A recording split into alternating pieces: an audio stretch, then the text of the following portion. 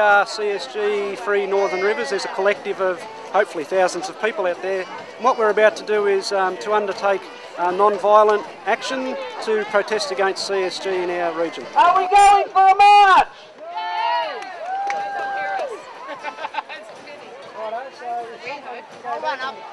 The whole infrastructural nightmare is coming to the Northern Rivers and it's a people's movement that's going to stop it. This is something that is so important to all of our community and to see everyone coming together. We're blessed with great weather, but even without this great weather, hail, rain or shine, we would have seen this big crowd here because this is so important. Lock the gate! Lock the gate! Lock the gate!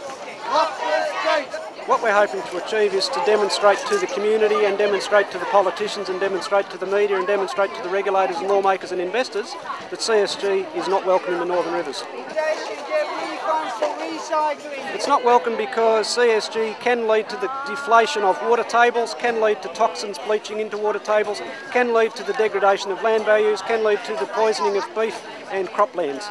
The Gasfield Cafe is this whole CSG industry. The, what's on the menu is what we're served by CSG as an industry on the community and the environment.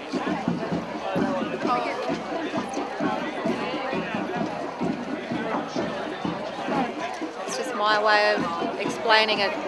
We've seen blockades in uh, Gloucester, blockades in the Gunnedah Basin, and this community is ready for blockading. I know there's a lot of direct action training.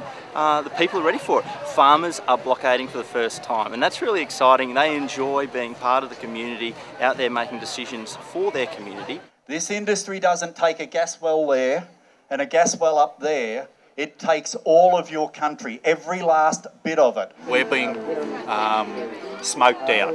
Like in the Westerns, they're doing to us what they've done historically, you know, in the Westerns. Literally, that's what it's like out there. It's like cowboy country, and unfortunately, it's invoking cowboy responses to me. I believe in that non-violent civil disobedience will save the Northern Rivers, but I don't believe anything will save us now.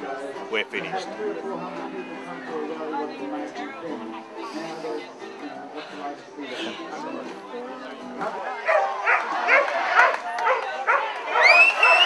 Someone was actually standing up on the bank counting as the marchers went past. So I think 7,000 sounds reasonable to me. It went right through the CBD. When I was in Keen Street, the march was right back along Woodlark Street and to the next parallel street, Molesworth Street. There were still people marching. So over more than a, a block and a half in length, uh, that was, and people were tightly marching together. So an enormous number. All ages, elderly people right down to children on their parents' shoulders. Wonderful.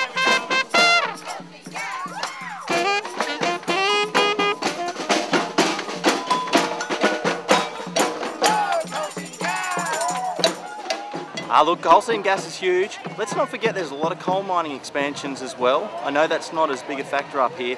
The amount of gas and coal expansion in Australia is globally significant. The expansion here will be fueling power stations in Japan, in, in Korea, and in India, where they don't even want our coal. People over there are campaigning for clean air and clean energy. They don't like the coals being sucked out of the ground in Australia and being sent to India. They want a renewable energy future too. We've got to show some leadership in Australia when it comes to uh, our energy future and the energy future for the world. We can't be the quarry for the globe any longer.